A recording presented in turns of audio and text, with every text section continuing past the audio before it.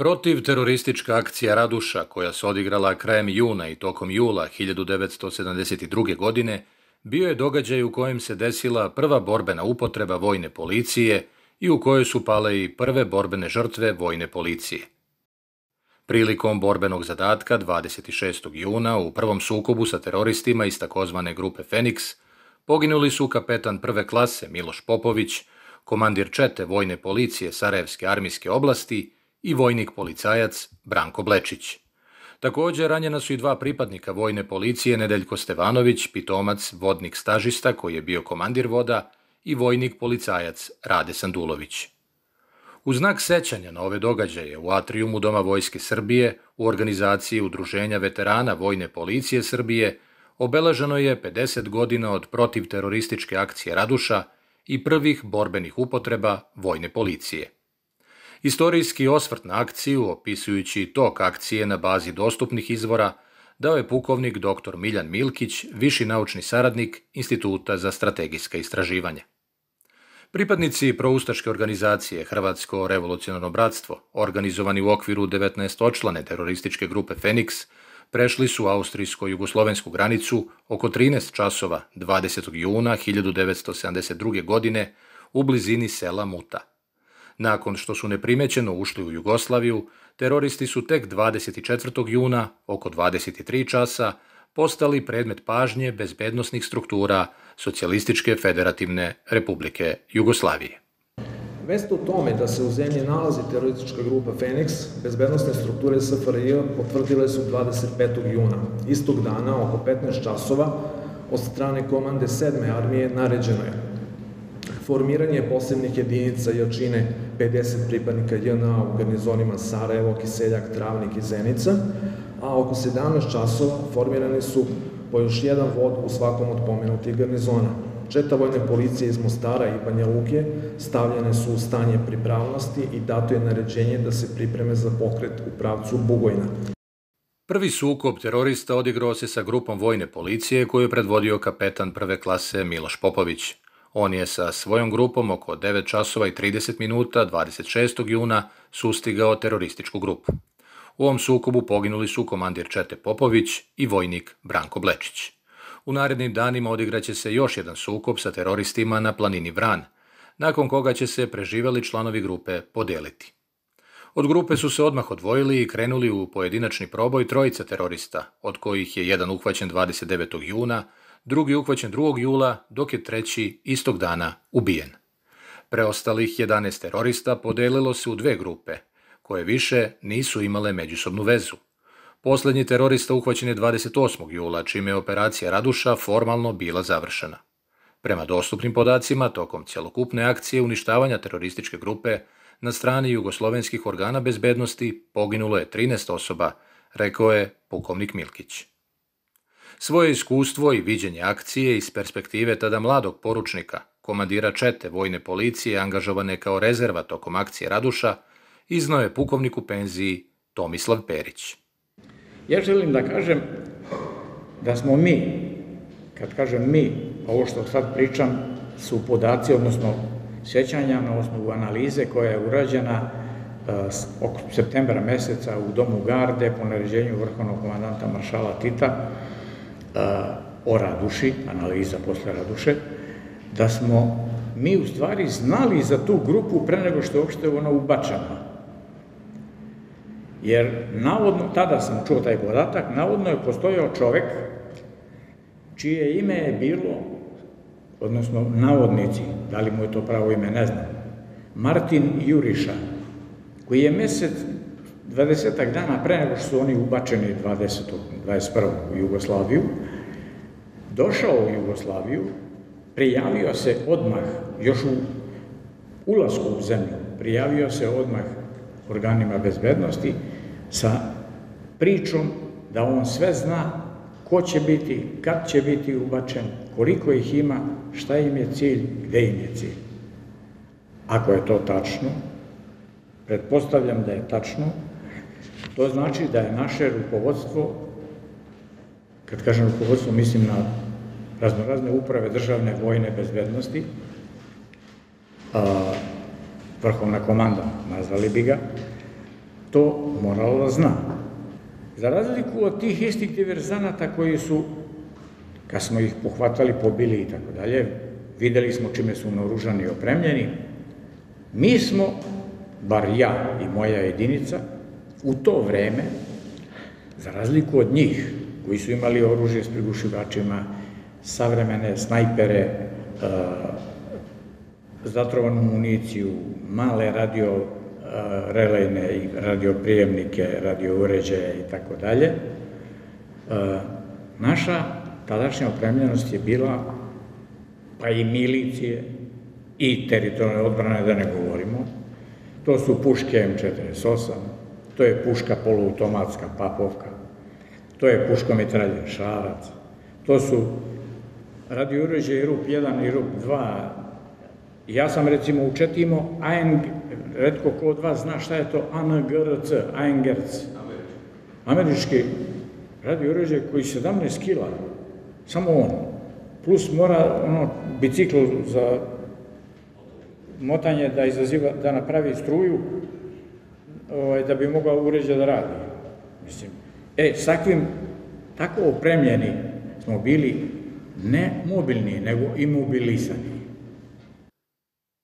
Dejstvo vojne policije, bez obzira na zaista besprimernu hrabrost i junačku žrtvu kapetana Popovića i vojnika Blečića, ocenjeni su kao taktički pogrešno. Ta borba je pokazala sve slabosti vojne policije JNA na više polja. Akcija Raduša u srpskoj istoriografiji nije ozbiljnije obrađivana. U nadi da će se i kod nas ova tema, posebno nakon otvaranja dokumentacije ovom događaju, ozbiljnije obrađivati, održano je ovo istorijsko podsjećanje na protivterorističku akciju Raduša u organizaciji Udruženja veterana Vojne policije Srbije, koje kao jedan od motiva i svojih zadataka ima čuvanje tradicije vojne policije i sećanje na poginule drugove. Udruženje je formirano kao želja više godina nas pripadnika vojne policije koji smo nekada bili u vojnoj policiji ili su još uvek, da se formira jedno takvo udruženje kao jedna organizacija nepolitička, neprofitabilna, koja će negovati tradicije vojne policije, učestvovati u svim akcijama i manifestacijama vojne policije i na jednom mestu ovaj, okupiti te pripadnike, jer to su generacije i generacije od vojnika na osluženju vojnog roka preko prosivnih vojnika, rezervnih starešina, aktivnih starešina. I ta ideja je na kraju ovaj, grupe tih ljudi 29. februara 2018. godine u Kragujevcu uobličena i onda smo to na kraju rešili prošle godine 16. maja određena grupa ljudi je, je formirala to udruženje kao jedno, a, da kažem, osnovno udruženje u kome se skupljaju veterani vojne policije. Kod su i članovi, znači svi oni koji su bili u vojnoj policiji, a mogu biti i članovi porodica naših a, poginulih kolega ili ovaj, preminuli.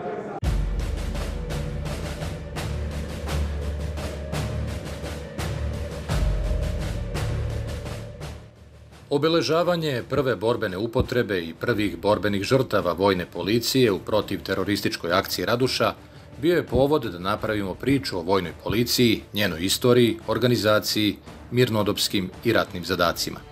Deo te istorije kao bivši pripadnici jedinice i načelnici uprave vojne policije su i pukovnik u penziji Dragoljub Jevđević i brigadni general u penziji Dejan Janković. A vojna policija u srpskoj vojsci ima dugu tradiciju – koja datira od postanka Srbije kao savremene evropske države. Prvi počeci, kad je u pitanju uopšte država koja je existirala na ovom prostoru, datiraju još iz 1876. godine, kada je tada naredbom knjaza Milana Obrenovića odlučeno da se formiraju policijska odelenja u komandama brigada Srpske vojske. U suštini, vojna policija, ako možemo to tako najprostije da kažemo, je nužno zlo. Ona u suštini se formira i inače tada u tom periodu je to tako išlo na svim prostorima, svim vojskama, da bi između ostalog obezbedila pre svega red i disciplinu. Jedna ovakva odluka kneza, knjaza Milana Obrenovića je verovatno generisana tadašnjim stanjem i u vojci i u društvu. Imajući u vidu da je to bio pokušaj e, vazalnih kneževica u to vreme, dakle kneževine Srbije i kneževine Crne Gore, da se konačno oslobode e, turskog jarma. Sa druge strane, odluka da se formiraju takva odeljenja pokazuje da je bilo problema i u mobilizaciji, a i u samom izvođenju borbenih destava, odnosno upotrebi tih jedinica u tom vremenskom periodu od 1876. do 1878. kada su se odvijali srpsko-turski ratovi. Činjenica je da je ta vojna policija pre svega formirana da bi se obezbedio taj vojni red i disciplina. I njihovi osnovni zadaci su pre svega bili da se obezbedi da svi vojni obveznici odgovore na poziv otačbine da se konačno tadašnja kneževina Srbija oslobodi turskog jarma. Sa druge strane, kao jedan takođe od značajnih zadataka vojne policije je da se spreči dezerterstvo, koje, ako pogledamo neke istorijske činjenice, je bilo poprilično zastupljeno, da ne kažem masovno, u tim prvim sukobima sa Turcima 1876. godine. Ako pogledamo jednu takvu odluku knjaza Milana Obrenovića, onda možemo doći do zaključka da je vojna misao i uopšte taj vojni kadar koji između ostalog verovatno i dao tu ideju da se formiraju ta policijska odelenja, bio na visokom nivou, jer ako danas pogledamo istoriju nastanka vojne policije u tada u formiranju modernih e, evropskih država, onda vidimo da su slična rešenja bila praktično zastupljena i u svim evropskim modernim državama u nastanku u tom vremenskom periodu. Takva situacija, znači da vojno-policijska služba se obavlja samo u vreme rata, ostala je sve vreme trajanja kraljevine Srbije, kasnije kraljevine Jugoslavije, a, znači samo po ratnoj informaciji je bilo. Žandarmerija po njihovim pravilima imala obavezu da dodeli jednu četu za vrhovnu komandu i vodove za sve komande e, divizija. Međutim, u praksi to obično nije bilo tako, nego je to bilo manjak broja, jer žandarmerija, posebno u vreme Kraljevine Srbije, nije bila brojna. Ona je brojala možda 2,5, 3 hiljade ljudi, tako da to jednostavno nije bilo moguće. A ostajali su i oni tekući policijski poslovi na teritoriji. Za bolje razumevanja možda treba znati to da policijska služba, kakvu mi danas prepoznajemo, nije postajala u Kraljevini Srbiji. Ta moderna policijska služba je inače formirana tek posle 1919. kad je formirana Kraljevina Srba, Hrvata i Slovenaca, odnosno Kraljevine Jugoslavije. Vojna policija je u savremenoj istoriji formirana kao posebna celina u okviru vojske 14. septembra 1955. godine. Prva puna formacija vojne policije, aktivnost vojne policije u miru ratu ide od 1955. godine.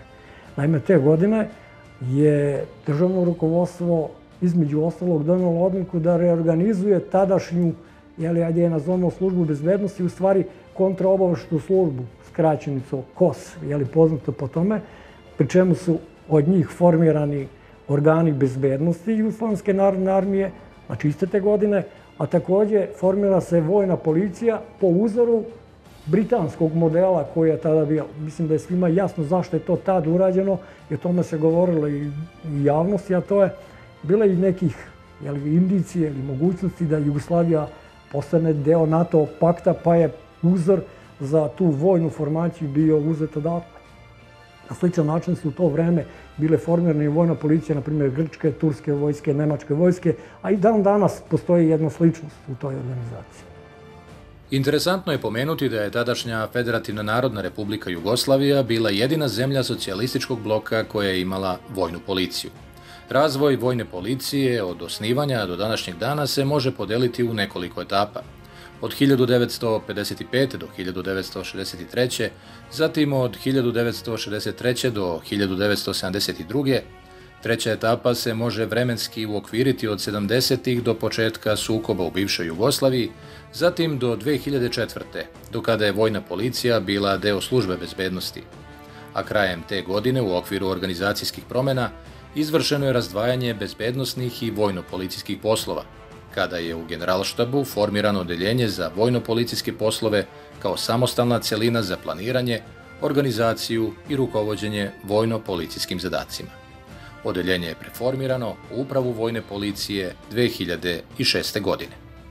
Taj prvi period od 1955. do 63. godine karakterističa je jedna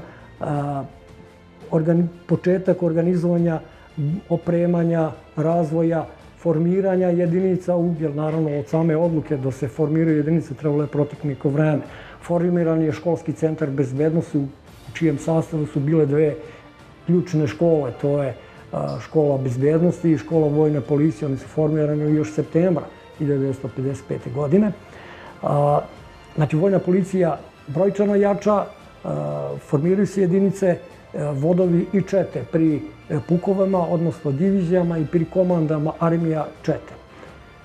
Međutim, 63. godine dolazi do jednog zastanka u tom razvoju, jer je saobraćajna funkcija, odnosno saobraćajne vojne policije odvojena i formirane su posebne jedinice za regulisanje kontrolu saobraćaja, a ova policijska funkcija, s obzirom da se i tada vojska smanjivala, nekako se smanjuje. Smanjuje se broj jedinica, spada je broj starešina u tim jedinicama i te i dovodi se u jedno stanje, ajde da kažemo, e, pomoćne prištapske službe, a ne ono što je prvobitno bilo zamišljeno. I to je tako traje sve negde do 71. godine, kada je na osnovu analize i studija uprave bezbednosti, odnosno oddeljenja vojne policije, zaključeno da to nije dobro i da u organima, odnosno da u jedinicama vojne, jedinice vojne policije treba i u brojnije i jače jedinice, bataljoni. Znači, 71. godine se donesa odluka o formiranju bataljona i doneta je odluka da se formira 10 bataljona. I to pri komandama armija, pri komandi vojno-pomorske oblasti, pri komandi a, ove, vojno, teri, vojnog područja Titograd i da se formira u, pri Savrenski prijatelj za narodnu odbranu bataljon vojno policije, odnosno u upravi bezbednosti. Zaboravio sam reći i pri ratnom razpolosti protiv vazdušne odbrane. Međutim, krajem juna 1972. godine, kao što je poznato, dolazi do ubacivanja Ustaške terorističke grupe, gde se kao prva formacija angažuje četa vojne policije Sarajeva.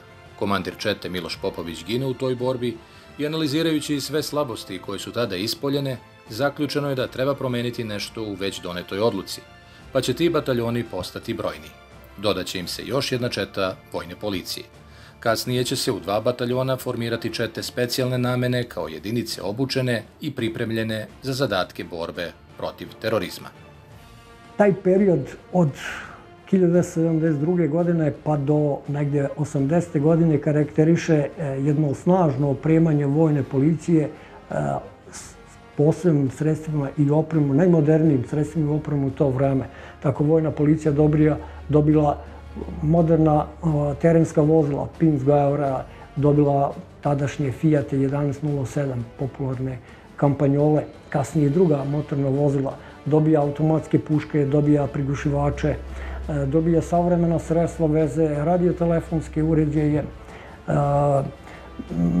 optoelektronski uređaje koji su tada zaista bili jedna redkost to, to vreme najsavremenije uređaje strane proizvodnje ona se dovodi jedan nivo operativne njegove sposobnosti da izvrši stvarno svaki zadatak. E, 1978. godine, gledajući situaciju u svetu i terorizam koji se tad buja, posebno takozvani talački, terorizam, otmice, otmica Alda Mora, onda e, u Entebiju događaj otmica onog aviona, vojno rukovodstvo donosi odluku da se i u vojci, odnosno u sastavu vojne policije, formira jedna protiteroristička jedinica. Prva je donata odluka septem, pardon, aprila 1978. da se formira jedno odeljenje vojne policije za protiteroristička dejstva, sastavljeno isključivo od profesionalaca, odnosno podoficira. To odeljenje je bilo u sastavu voda vojne policije specijalne namene 282. bataljona vojne policije policije. Sticajem okolnosti, ja sam bio komandir tog voda, a komandir odeljenja je bio kasnije kapetan Koprivica Trifon. To su bili prvi početci organizacije tih jedinica koja danas svi prepoznajemo, postoje i u policiji i u vojsi te jedinice. Vojna policija 80. godina dosegla je visok nivo borbene gotovosti. 80. godina svakako u vojnoj policiji imamo protivterorističke jedinice ili protivterorističke čete, koje su isključivo na starešinskog, uglavnom u većinski starešinskog sastava, namenjene za protivteroristička dejstva i s druge strane, znači, jedinice specijalne namene koje su na transporterima. Mi 80. godina dobijamo namensko vojno-policijsko vozilo, vozilo policijsko borbeno M86, koje je suštinski bilo prilagođeno za realizaciju tih specifičnih zadataka vojne policije, a takođe prilagođeno i za eventualno pružanje pomoći miliciji tadašnjoj iz jednog osnovnog razloga što je bilo prilagođeno i za realizaciju nekih zadataka u midranskom periodu, kao što je zadatak suzbiljene demonstracije i slično. Ono što ja mogu na osnovu svog iskustva da kažem kad je u pitanju razvoj vojne policije, nekako čini mi se da su revoluciju, revolucionarne bile te 80. i 90. godine, ali da smo nakon sukoba na prostoru bivše Jugoslavije uh, na neki način stagnirali malo u tom pogledu. Ono što je bilo karakteristično pre svega za jedinice vojne policije, što je bio redovan i obavezan deo obuke je svakako u to vreme bilo dejstvo pojedinca, a takođe i odgovarajućih formacijskih grupa i odeljenja iz helikoptera, recimo što u tom nekom posrednom periodu je izbačeno iz programa obuke i to se više nije realizovao, a ovo je bio obavezan program obuke ne samo za starešinski, nego i za vojnički deo.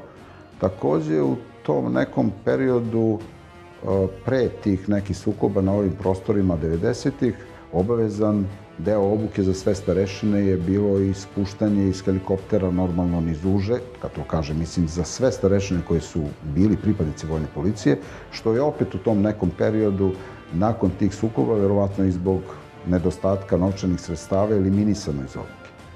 Smatram da su to neki sadržaji koji zaista obezbeđuju te neke, ako možemo tako da kažemo, operativne sposobnosti i današnjih jedinica vojne policije i to bi, po mom mišljenju, trebalo, iako je to zaista skupa obuka, ponovo vratiti u obavezan deo obuke jedinica vojne policije.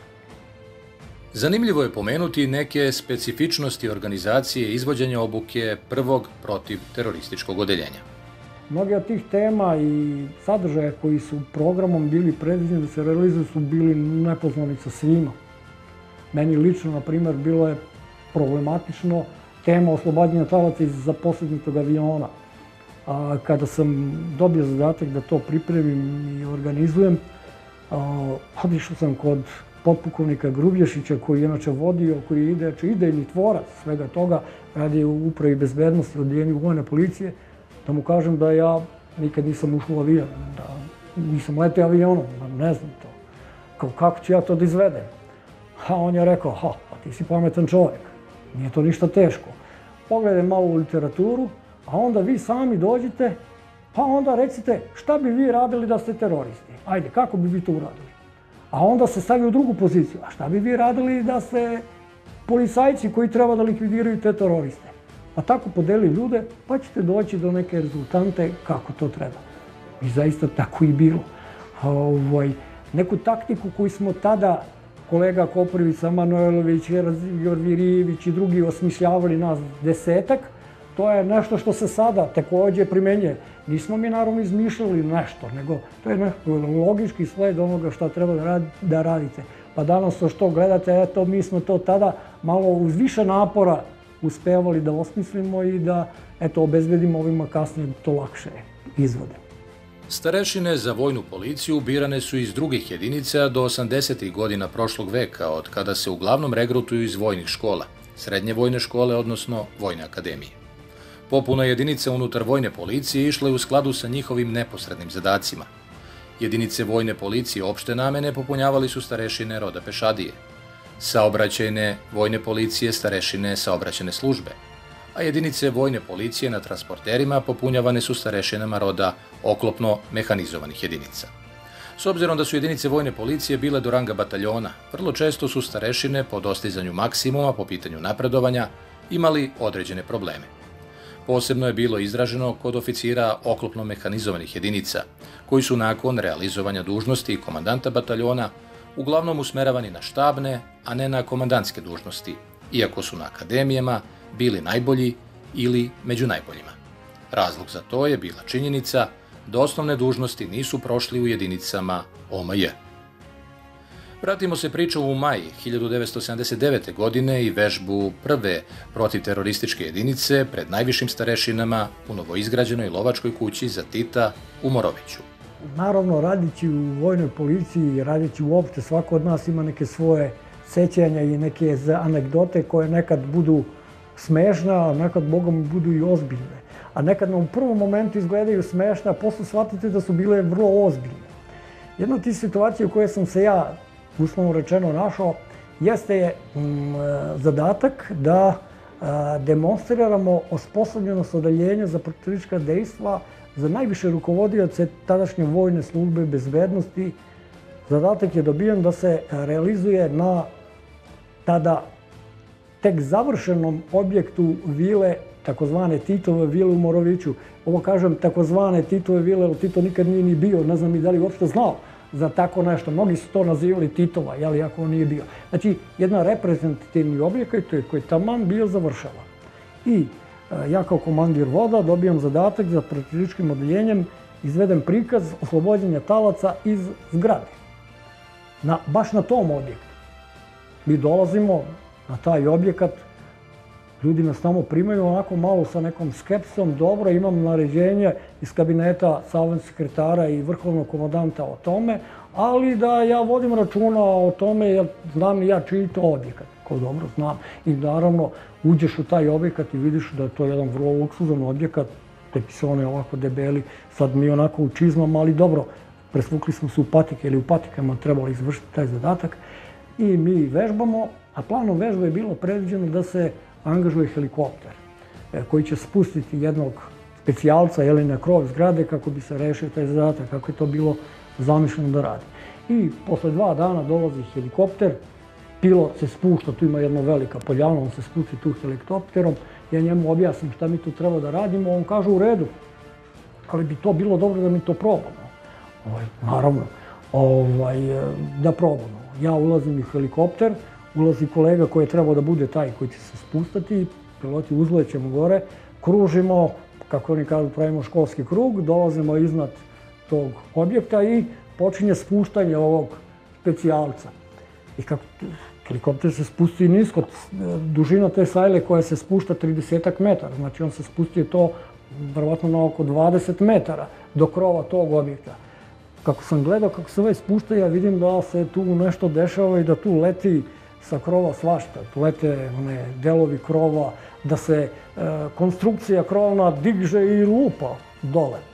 Ja kažem onom pilotu, i on naravno obustavlja operaciju, uvlačimo ovo kolegu, spustamo se dole, spustamo se dole, ja, kad pogledaš ima šta videti, onaj objekat kod da ga je tornado pogodio, znači krov sav, nikakav srušio, nije se baš srušio, ali to ni na šta ne liči, onaj nadzorni organ, besan, kaže, znate li vi šta ste uradili? A sticamo okolnosti, tu se zateko i naš komandant bataljona, tada major Pop Savin, će kasnije pukovnik u penziji, koji isto tako jedna neprijatna situacija. I sad ovaj besni kaže, sad ćete vi videti, to ne može tako, sad ću ja da zovnem ovaj, šefa kabineta, nekog generala Žiku Stojšića, sad ću ja da zovem i on odlazi i meni komandant kaže, ajde idi ti sa njim, pa slušaj šta će on da kaže general. On zokreće telefon, zaista iz ove dobija kabinet i ja sad slušam, to čuje se, on kaže, druže general, eto, oni su to uradili, srušili ono, raspole i tako dalje.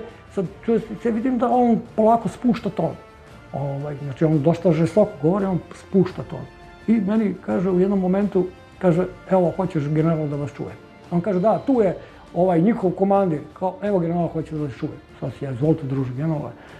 On kaže, slušaj mali, ovaj, nastavi ti, ti taj zadatak po planu. Da je to valjalo, to se ne bi ni srušilo. Ovaj, I tu se naravno priča završava, što je u principu bilo istina. Mislim, zaista bi taj kroj podiglo bilo kakvo luja sutra, a ne helikopter, mislim, toga. Kao anegdotu, naš sagovornik izdvaja slučaj kada je od organa bezbednosti dobio upozorenje da tadašnjem saveznom sekretaru Nikoli Ljubičiću preti nekolici iz inostranstva uz nejasnu fotografiju osobe, ali uz dosta precizan opis kako izgleda i koje je građe. To protivričko odeljenje je između ostalog bilo angažovane kada je trebalo pojačati obezbiđenje najviših vojnih rukovodilaca. I mm, tamo negde 79. godine stigla je informacija da postoji mogućnost atentata na savjetnog sekretara i iz tog razloga pojačano je obezbiđenje, osim klasično običajnog vojno, i patrolama gde su angažani pripadnici protivričko odeljenja u civilu dajnju noću da patroliraju okolo oko tog objekta. Inače, general Ljubičić je stanovo tu dole na Senjaku u jednoj gradi, jel, civilnoj zgradi. To nije bilo vojna zgrada, to je, koliko ja znam, zgrada koja je bila u vlasnici njegovog tasta. Ove, ovaj, sad mi smo taj zadatak savjesno i odgovorno shvatili, patrolirali okolo i jedne noći ovaj, patrola koja se zadrsa tu na zadatku primeti jednog čoveka koji tako ide ulicom, ako ide u senci, u el, ulicu, tamo negde oko dva sata noću, vodi kuće i tu se kreće. A mi smo inače dobili opis tog potencijalnog atentatora, kako bi on mogao da izgleda.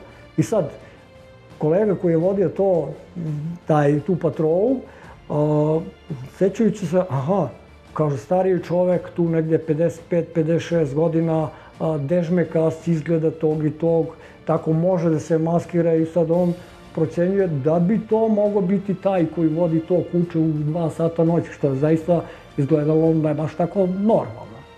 I razmišljaju da li da ga zaustavu, ne, hajde, i oni stoji, čovek, stane, daj legitimaciju, ovaj, mm, onako zbunjeno, nemam. Kako nemaš legitimaciju? Pa, nemam. Gde ti stanuješ? Sad čovjek kaže, pa tu, gde stanuješ, sad pokazuje zgradu. A pošto smo mi znali ko tu stanuje, ovaj, pokaže vam kuću generala Đoka Jovanića. Sad, ovaj kolega kaže, razmišljam ja, kao ono, polusenci je to. Kako se ti zoveš? Znači, ne perši, kako se ti zoveš? Kaže Đoko Jovanić. Kao, malo da se...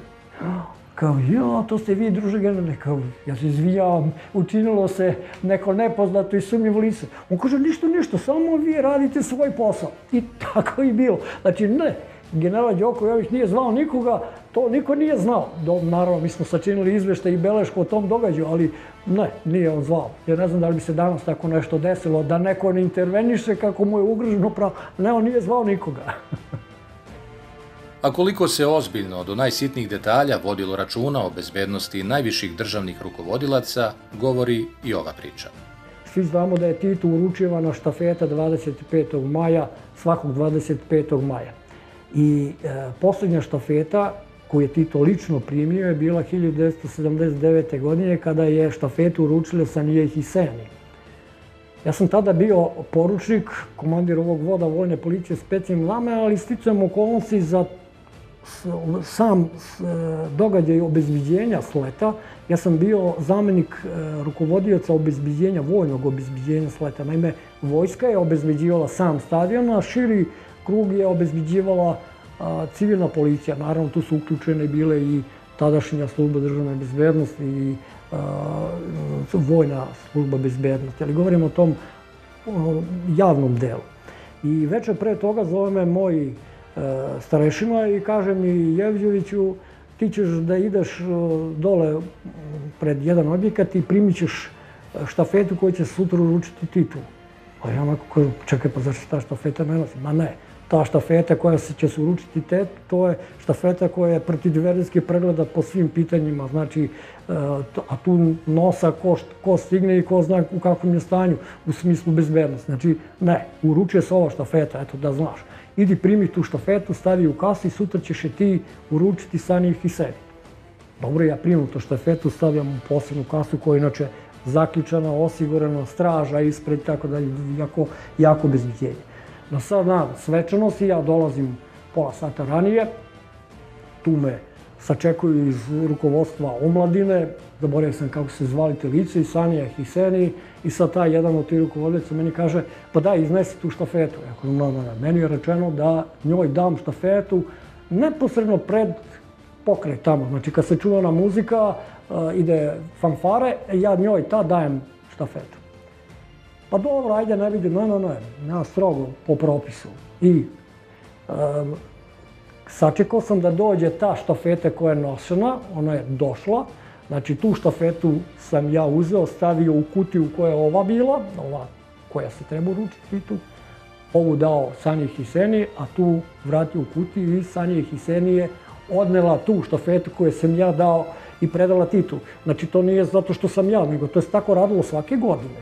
Znači, pre toga. Znači, nos, zadnji nosila štafete, nije nosio onu štafetu koja je nošena, nego ovu štafetu koja je protiv diverzijskih pregleda. To su pregledali ljudi tada lica iz garde, odnosno od tog oceka bezbednosti garde za protivverijsku zaštitu i ona je bila apsolutno bezbedna. Deceniju posle Titove smrti u građanskom ratu će se razbiti mit o bratstvu i jedinstvu koje je simbolizovala i štafeta. A ono što je karakteristično za ratni period 90. godina je da je vrlo često dolazilo do nenamenske upotrebe vojne policije. Zadaci, odnosno poslovi zadaci vojne policije su slično bili strukturirani kao, kao i danas.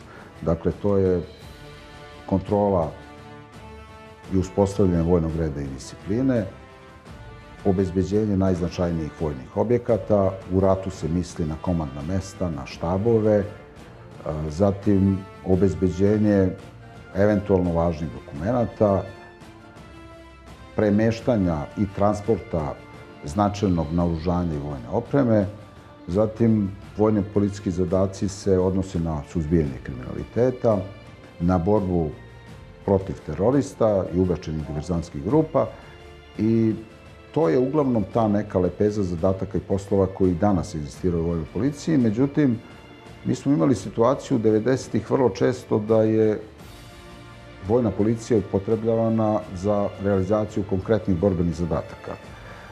Ja s jedne strane mogu da razumem takve odluke komandanata iz jednog osnovnog razloga što je inače bila činjenica da su najusposobljenije i najopremljenije jedinice u to vreme bile upravo jedinice vojne policije. Ehm, normalno, posle realizacije tih borbenih dejstava 90. kao i posle bilo kakvih borbenih upotreba vojne policije izvršena analiza koja je između ostalog iznedrila zaključke koji su jednostavno upozorili na nenamensku upotrebu vojne policije u toku tih sukoba 90-ih, a s druge strane i ukazali na mnoge negativnosti koje su praktično posledično bile vezane za tu nenamensku upotrebu vojne policije, odnosno rezultat su nenamenske upotrebe za realizaciju vojno-policijskih zadataka nekih drugih jedinica. Takva jedna analiza je doprinula da takvih e, problema 99 kasnije u sukobima na Kosovo i Metohiji zaista bude minimalno. Ono što je takođe u tim nekim analizama jednostavno obuhvaćeno, a to je angažovanje sastava koji su uglavnom bili od dobrovoljaca. I između ostalog 99. godine je doneta odluka da ne, u nijednom sastavu vojske Srbije ne može biti sastav dobrovoljaca koji je veće veličina od odeljenja. Na taj način se već na nižem komandnom nivou uspostavlja neka kontrola i sprečavaju se razne zloupotrebe koje su inače bile registrovane u velikom broju 90. godina. Kad to kažem, mislim pre svega na uh, otuđenje imovine stanovništva u zoni izvođenja borbenih destava, a takođe i razne druge zloupotrebe koje se odnose na dezerterstvo i na slične negativne pojave koje su inače karakteristične za sve vojske u svim uslovima odvijanja borbenih destava. Tokom NATO agresije, vojna policija je dala značajan doprinos u odbrani granice prema Albaniji. Jedan broj profesionalnih pripadnika vojne policije bio upućeni pre samog bombardovanja 1999. godine Kosovo i Metohiju, tako da se u momentu bombardovanja tamo našli e, jedna četa vojne policije iz sastava tadašnje prve armije, sastavljena isključilo profesionalnih pripadnika, to je negdje stotinak ljudi, koja se u momentu prvog napada šiptarskih terorista na karaulu Košole zadesilo u tom rijonu i komadant brigada je kao prvu snagu za intervenciju i pruženje pomoći graničana uputio upravo tu četu. Gospodin Duško Šljivančin pominje jedini u tim sećanjima da je angažovan vod. Nije vod, nego jedna četa, duše, to nije ni prava pešadijska četa koji broji 150 ljudi. Ta četa je upalo slabija bila, ali eto, ta jedinica kojom je komando Iličić i Đurica je izvršila zadatak, došla do graničala, pružila im podršku u kritičnom momentu i zajedno sa njima pomogla da se zaustave šiptari i ne dozvoli proda dalje. Ne samo to, nego su još dva puta oni angažovani na istom prostoru i tada je poginulo sedam pripadnika vojne policije, a nekoliko desetina je što lakše, što teže ranjeno ili povređeno. Samo iz sastave te male čete od e, stotina, nepunih sto ljudi. Vojska Srbije se 1999. planski i organizovano povukla sa Kosova i Metohije, pri čemu je taj pokret impresionirao strane izveštače, jer su bili ubeđeni da je većina tehnike uništena. Mnogi ne znaju da je e, jedan mali doprinos tom uspešnom izvlačenju jedinica Prištinskog korpusa sa Vojske Jugoslavije dala i vojna policija, pre svega vojna policija, naravno, Prištinskog korpusa. Radi se o tome da je još u maju mesecu tadašnji zamenik načelnika uprave bezbednosti, general Vasiljević, mene pitao a kako ćemo se povući sa Kosova i Meteka? I otprilike tako. Pa, pa zar se povlačimo? Pa kaže, ne znam, ali možda bi bilo dobro da mi to pripremimo, da ne budemo iznenadi. Znači, to je radi se o sredini maja. Pa kako to da uradim? Pa šta, ti si policajac, pa znaš, ajde, osmisli to. I onda sam ja seo sa kolegama iz odljenja vojne policije uprave bezbednosti i osam jednu instrukciju za angažovanje vojne policije za slučaj izvlačenja jedinica. E, suština te instrukcije jeste u tome da se izvrši saobraćeno izviđenje, odnosno da pripadnici vojne policije Prištinskog korpusa izvide sve one pravce, moguće pravce, kuda bi se izvlačile jedinice kretale kod izvlačenja jedinice Prištinskog korpusa. To smo poslali odljenju bezbednosti Prištinskog korpusa, odnosno njegovom oceku vojne policije, koji su takođe, koji ja, bili malo iznenađeni. Naravno se oni upoznali generala Lazarića, pa i on bio iznenađen, ali Jan Lazarić je zaista dao zadatak ne samo vojne policije, nego i saobraćenim organima da to pripreme, odnosno da se izvrši saobraćeni izviđenje. To znači izvrtiti trase kretanja, širinu kolovoza, kvalitet kolovoza, a, uglove krivina, da li tu mogu proći vučnim vozom ili ne. Naravno, ne ide se sve danas glavnim magistralnim nego da se ide se i drugim pomoćnim koji nisu, ono kako se kaže, nekategorisan putnim. Znači, sve to trebali izvedeti. Drugo, trebali utvrditi kritične tačke i mesta gde bi moglo doći do zagušenja, kretanja, obično na mestima da se slivaju jedinice sa više pravaca, gde može doći do napada na jedinice u povlačenju, kao kritičke tačke, da se to pripreme jedinice koje će tomu napred zaposliti i držati i kontrolisati taj prostor. Znači, to je sve urađeno ili pripremljeno u maju mesecu, tako da ja verujem da kad je dobijan zadatak povlačenja, on je praktično došao posle onih pregovora, da je to bilo pripremljeno uh, unapred. Uh, pri čemu su glavnu ulogu imali komanda Prištinskog korpusa, odljenje bezbednosti kroz vojnu policiju, znači vojna policija i saobraćeni organi koji su sve to pripremili i obezbedili da to izvlačenje bude zaista onako školski primer izvlačenja ne pod borbom, ali u bor, zoni borbenih dejstava gde je pretalo opasnost i bila je pojedinačnih napada na te kolone, ali je sve proteklo, ja mislim, besprekorno. Uprava vojne policije obavlja poslove iz delokruga vojne policije koji su joj dati zakonom o vojsci i propisima donetim na osnovu tog zakona, zakonima o krivičnom postupku, pravilom službe Vojske Srbije i drugim vojnim propisima.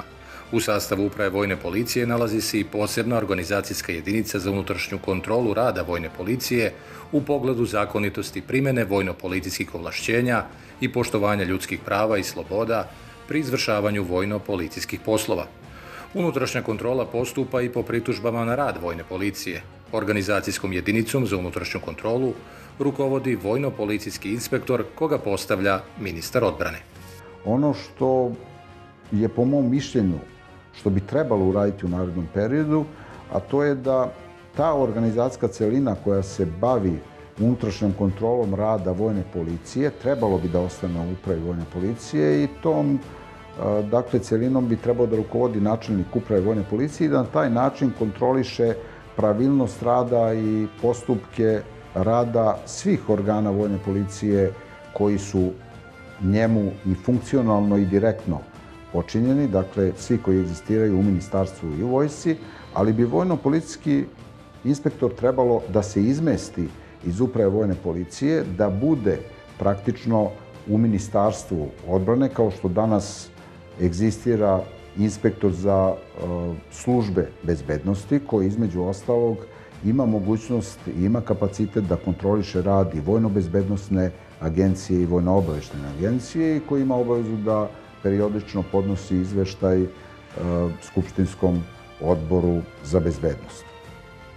Iako se poslovi suzbijanja kriminaliteta i u vojsci i u civilstvu rade planski organizovano, nekada sticaj okolnosti navodi na problem, pa ga rešavate u hodu. Jedan takav problem desio se evo ovako. E, naime, vraćao sam se sa kolegama iz Vojne službe bezbjednosti s jednog zadatka sa područja Crne Gore, kad je bilo 2000. godine. Ovaj, I svratili smo u jednu kafanu na Kokinom brodu, koja se nalazi tik uz sam put. Dok smo mi tu sedeli, ja vidim da putem ide vozilo koje ima pokretnu rotaciju na krovu. U šofer šajbi stoji, vidi se lopatica stop i vojne su tablice 5, 21, sad neki broj i svira to vozilo i prođe pored nas. Kolega kaže, ovo je neki naš. Ja onako gledam, Ja kažem, ne znam, moguće. A nekako u glavi sve vrtim film, vozila je Audi, inače, tipa, pa mi nemamo Audi, a nam u vojnoj policiji tada nismo imali Audi. Ko bi to mogo biti? Pretpostavljam, ajde, možda je neko, ja zovem tada komandanta Kobri, koji je bio zadužen za obezbeđenje visokih vojnih rukovodilaca, da ga pitam da li on nema neko vozilnom zadatku. On se javio i kažu, no, nemamo ništa danas, imaju neke tekuće, ali to je u Beogradu, znači ne na ovom pravcu. Ja se setim da mi je predno šest meseci bilo dat zadatak da proverimo neko civilno, odnosno vozilo koje nosi vlažne tablice vojne sa tom oznakom 521, sad neki broj. To mi se učinilo sumljivo. Znači, nemamo Audi, tablice su mi sumljive, a glavni indikator mi je bio to što u šofer šajbni stoji lopatica top. Vojna policija nema potrebe da drži i bilo koja da drži lopaticu top. Zašto? Ja imam oznake koje me prepoznaju. To obično rade oni koji nelegalno koriste to kako bi eto vizualno bili prepoznatljivi pa ljudi pomisle da jesu policija.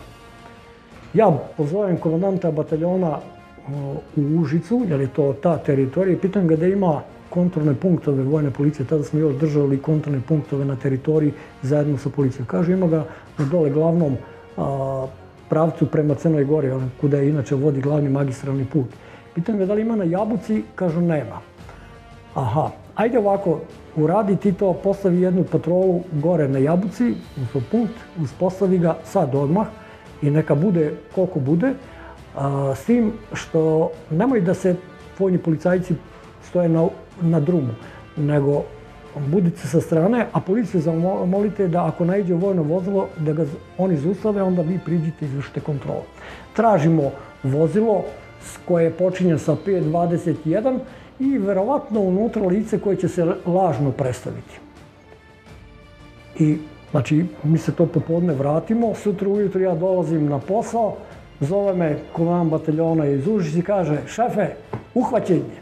Ja onako i zaboravio šta sam, ko, ko je uhvaćen? Pa kaže onaj lažni pukovnik. Koji lažni pukovnik? Pa kaže, jeste vi juče? A ja se setim. Aha, znači to je u stvari bilo. Naime, e, jedna organizovana kriminalna grupa je zloupotrebljavala ukradene vojne tablice tako što bi na ukradena vozila, luksuzna vozila BMW ili Mercedes stavljala vojne tablice, a vozač koji je to prevozio u Crnu Goru radi daljeg jeli, šverca je posjedavo lažnu legitimaciju organa bezbednosti.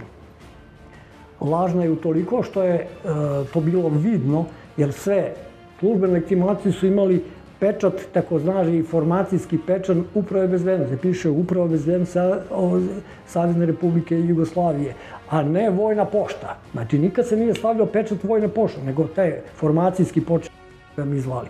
A ovaj je imao jeli, službenu klimaciju sa pečatom, to su naravno policajci znali i odmah su ga to lice zadržano, privedeno, kasnije obrađeno i procesuirano po tom osnovu.